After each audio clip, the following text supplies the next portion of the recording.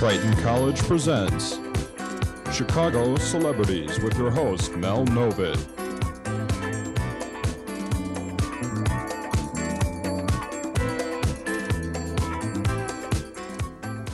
Long before the days of Marlo Thomas and Gloria Steinem marching with placards about women's liberation, my guest was already a liberated woman, a very successful woman in her television career and as her career, in her career as a wife and mother. I'd like to say welcome, Lee Phillip. Thank you, Mel. This is uh, fun to be here. Lee, not only were you in a double career as a wife and mother and television personality, you were involved in many, many things. You were a superwoman long before we ever even knew what the term superwoman meant. Tell me a little bit about your career and some of the things that you've been involved in. Right. Well, first of all, thank you for the compliment. And uh, I suppose women try to be superwomen, but there, there's no such thing. So I have uh, a lot of failings along with, with everyone else. But I have um, loved everything I've done. I grew up in the florist business, so I, I know what long hours of working can be. And I grew up uh, arranging flowers and, and waiting on people and servicing the public and being a volunteer because my mother was a almost a professional volunteer. We volunteered for Red Cross and the Maternity Center and Hines Hospital and all kinds of things. So, so I, I love doing what I'm doing, and I love doing many things, as you mentioned. Let's talk about them. What organizations are you still active in? Mel, about 25. You wouldn't want me to name all ramble, of them, Ramble, about ramble a half on? a dozen. Okay, Just- Northwestern just- University, Northwestern Memorial Hospital, uh, Red Cross, um, the Heart Association, National Committee for the Prevention of Child Abuse, Salvation Army. Um, I could go on and on. Children's Home and Aid Society, and, and many more. I'm on about 25 boards. Now, let's talk about one or two that you're actually active on. I know many people regarded as celebrities have their names on boards. How many of these are you actually participating in the day-to-day or week-to-week All of events? them. All, of them. I don't accept a responsibility unless I will participate, and we take it on that basis. Now, I may not attend every single meeting, but I do work for, for every organization. Parental stress is uh, very important to me. Um, it always has been, and, and it always will be. I, I uh, find it difficult to think that people abuse their children, but I've learned a lot about child abuse, and, uh, and I work with the parental stress uh, organization. What kind of input? What do you do for them? Well, I have people calling me who abuse their children. I've helped uh, mothers who have lost their children because of abuse and counseled them. And as you know, I, I'm going to Loyola University now, studying for a master's in social work. And I have my own caseload, even though I'm not a graduate and uh, I'm not an accredited social worker. I still have a stash of, of uh, files on my desk, and I service people every day. In other words, you're auditing the courses in social No. I'm taking the courses and I'm passing the courses, but it's slow because I only take one course at a time. And then will you actually be a licensed social worker? I will actually be a licensed do social you worker. intend to practice full I definitely intend to practice, yes. Maybe not full time, part time, but you see, the, the reason that came up is that I graduated from Northwestern as a bacteriologist.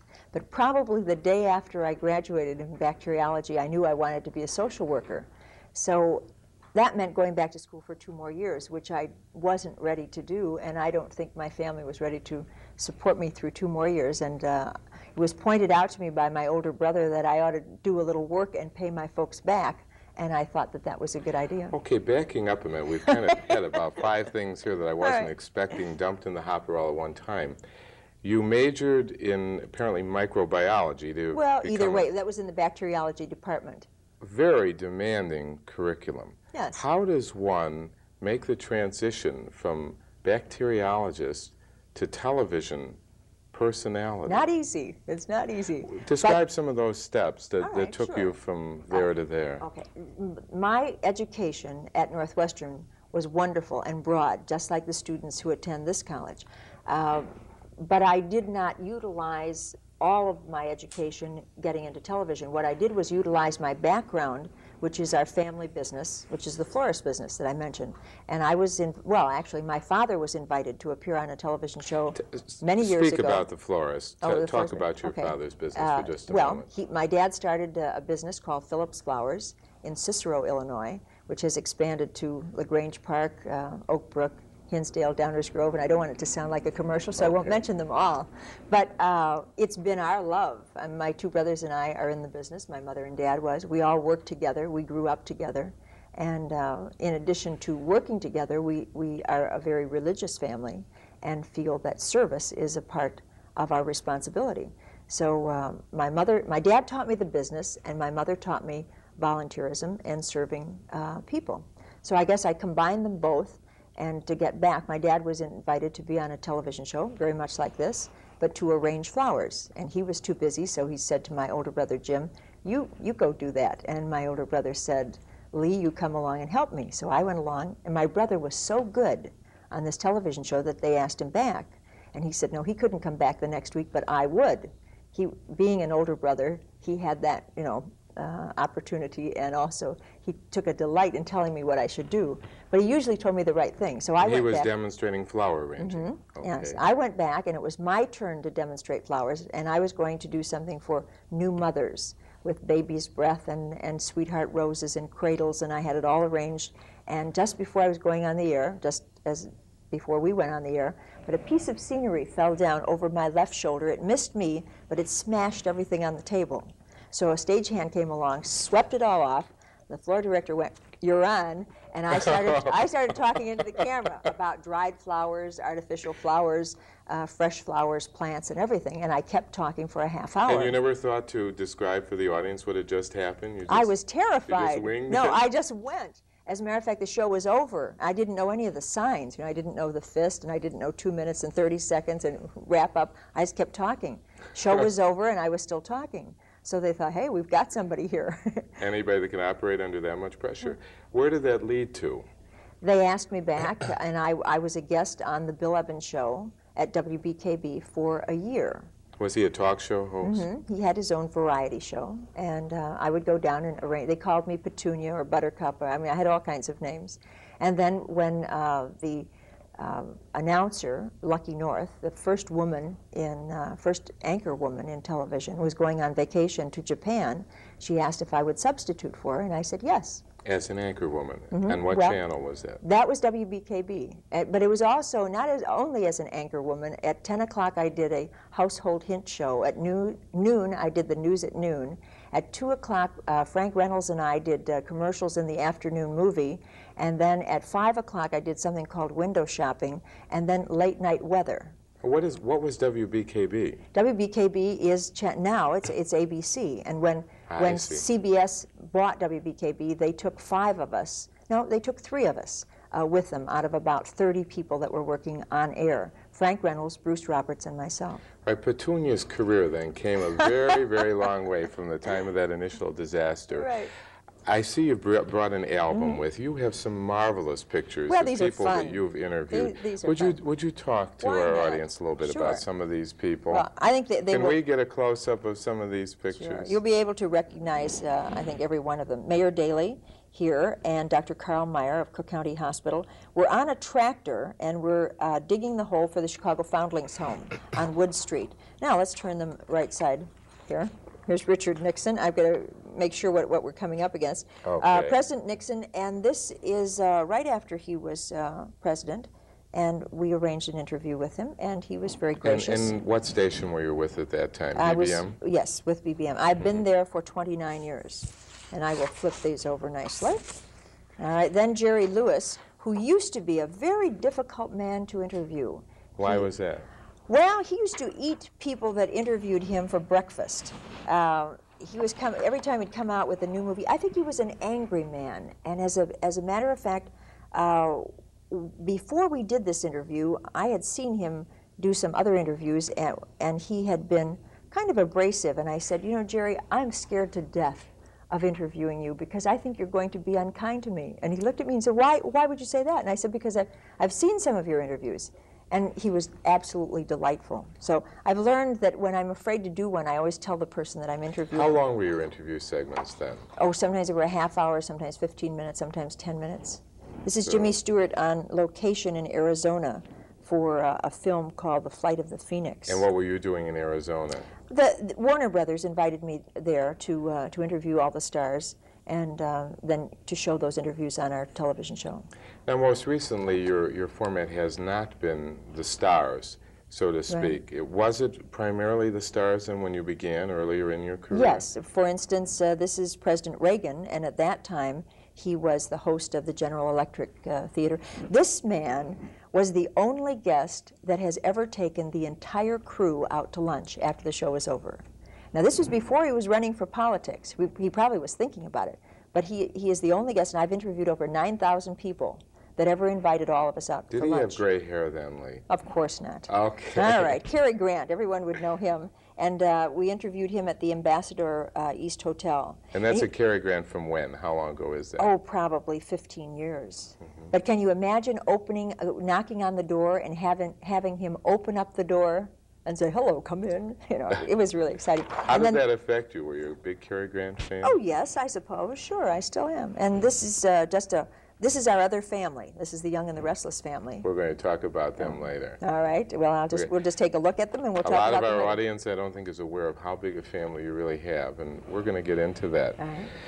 Since you mentioned the young and, and, and restless family, I'd like to, to bring to your attention that some members of your family are doing a, a few rather risque things, and if I could find some of their names, there's so many here, if you'll bear with me All right, I... I'll, I'll help you I- out. Nikki Okay. uh, was a stripper. Okay, Nikki right, was a and- stripper, and Nikki is pregnant now. She's Yes. not married, and Right. as I understand it, I believe she knows who the father is, Mm-hmm. but there are a lot of people that don't. And then we've got uh, Patty, and she's living with who is Jack With Abbott, Jack, Jack and Abbott. Jack is coming on to everybody else Right. these days. Yes, he's a womanizer. hmm Now, where do all these characters come from? I mean, this doesn't sound like you know Petunia or the leaf. Or Buttercup, right? or Buttercup. All right, let me state now that the things that happen on The Young and the Restless do not necessarily happen in our household.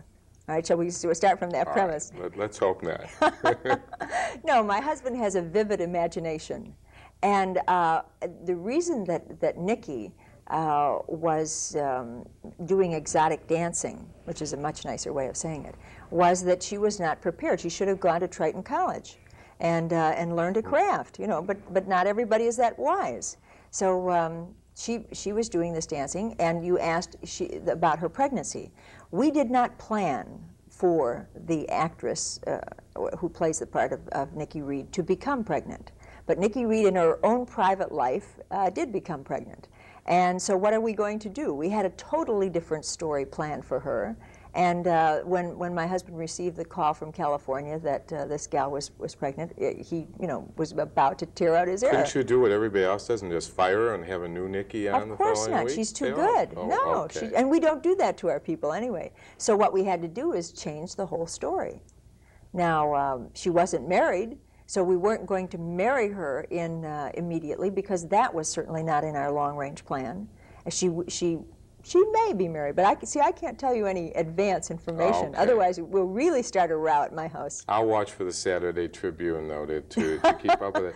What I'd good. like to do, though, is backtrack for our viewers about a little bit about how all this got started, and also there's a credit at the end of The Young and the Restless. that says, I believe, a, a Bell Phillip or a Phillip Production, yes. Production. Yes. Yes. What what part do you, Lee, actually have in this soap opera? Your husband is the writer. Well, let's say that nine, ten years ago, Bill and I uh, created The Young and the Restless, and I'm the president of the Bell Phillip Productions. So that's why my name is on the, on the credit, uh, also as the creator. And we, we work together on storyline, and uh, because of my interest in social work, I brought many social issues to the show.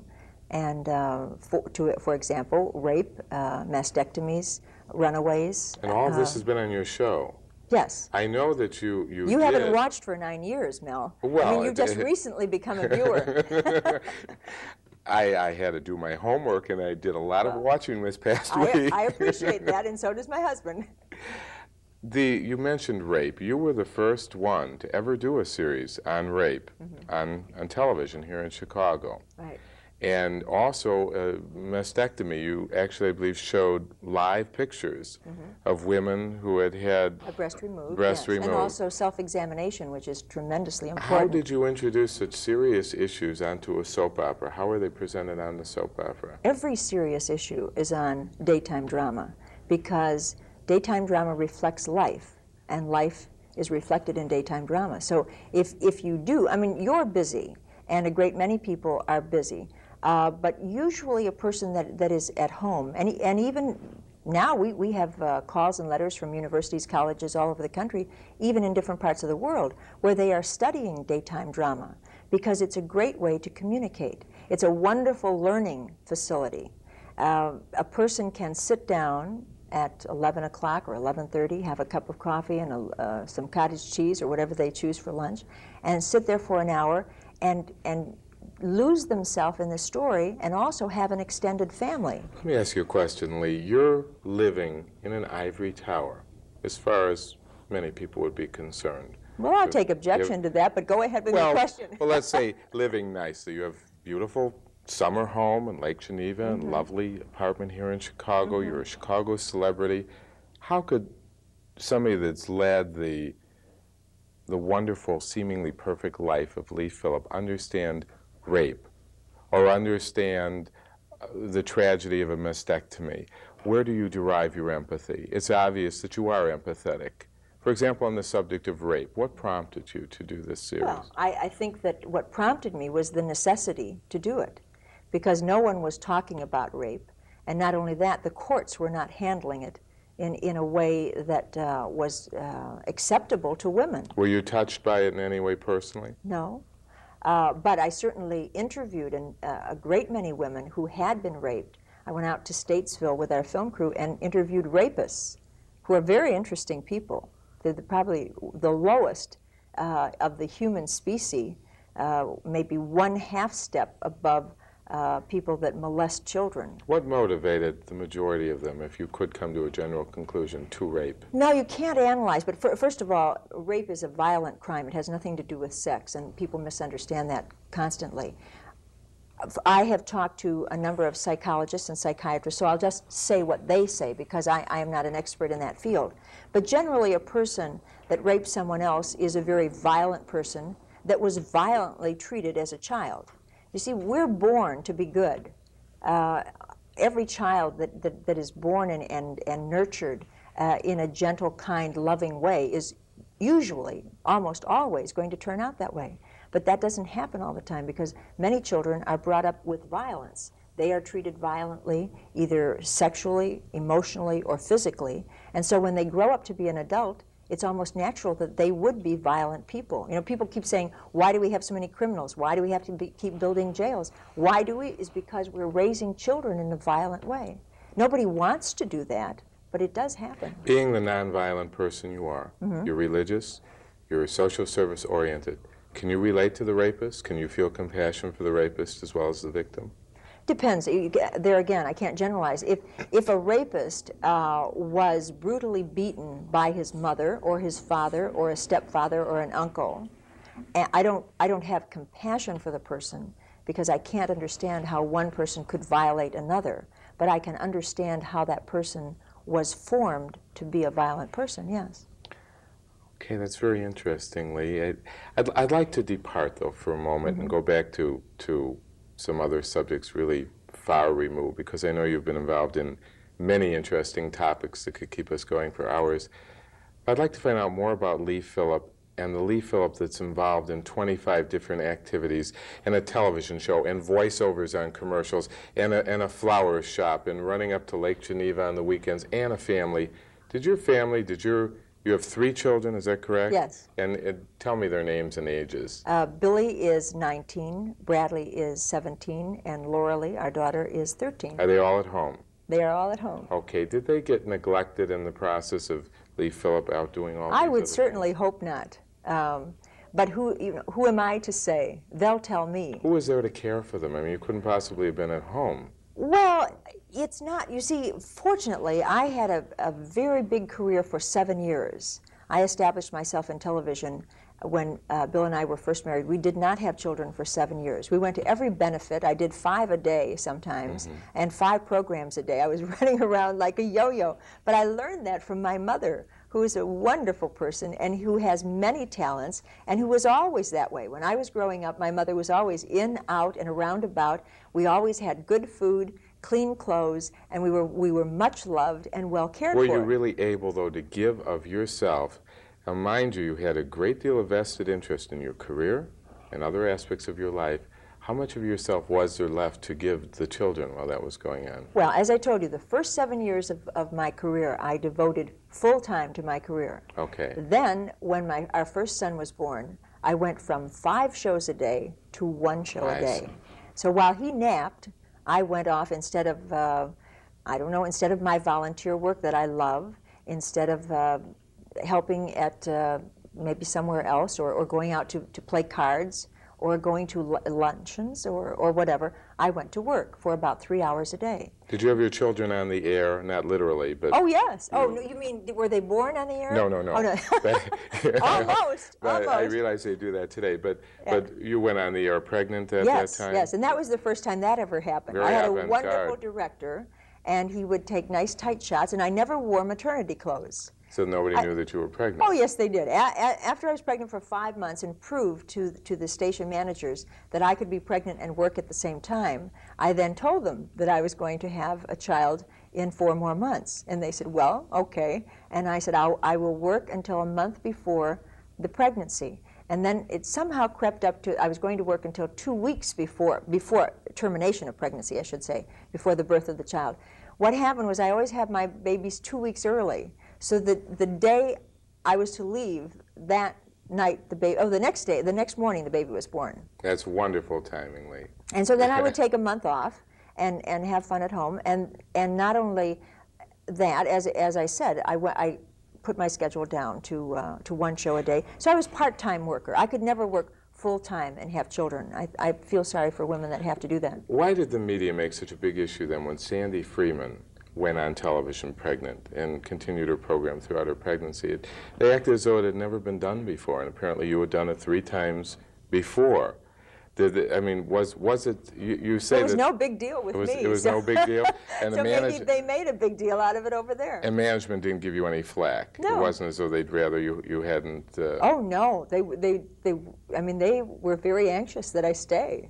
Right, your husband is somebody we haven't brought into the picture other than to mention the name Bell. And we're talking about William Bell, Bill Bell.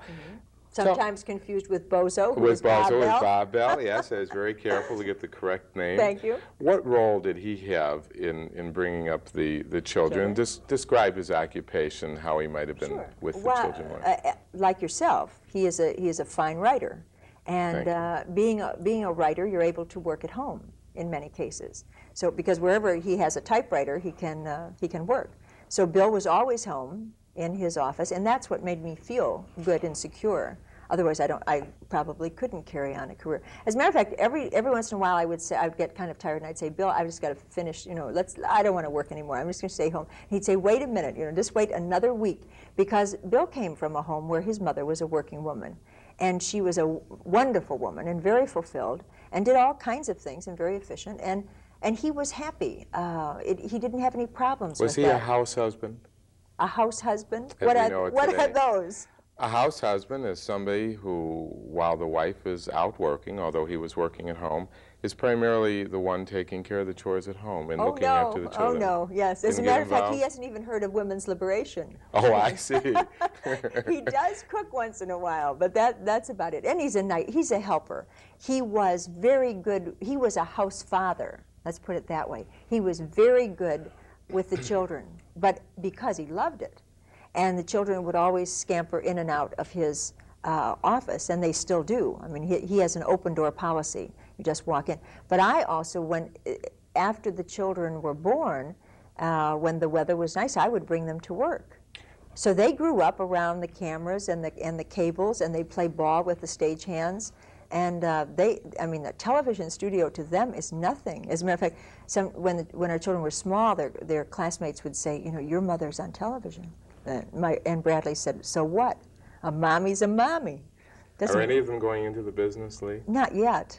Do you expect that- our daughter would love to be an actress, I but, see. but we are telling her that she must uh, finish her college education, learn to play the piano, learn to sing, learn to act, and memorize. There's a lot to it. What about your 19-year-old son? His name is William. William, and what? Or what- Bill. Or Bill. Yeah. And He's what, at the Board of Trade. Oh, he's already working. Yes, he works and goes to school at the same time. I he is a work-oriented person. Now, we would love him to just go to school and let us pay his tuition, but he has decided that he will put himself through school and he will make his own way.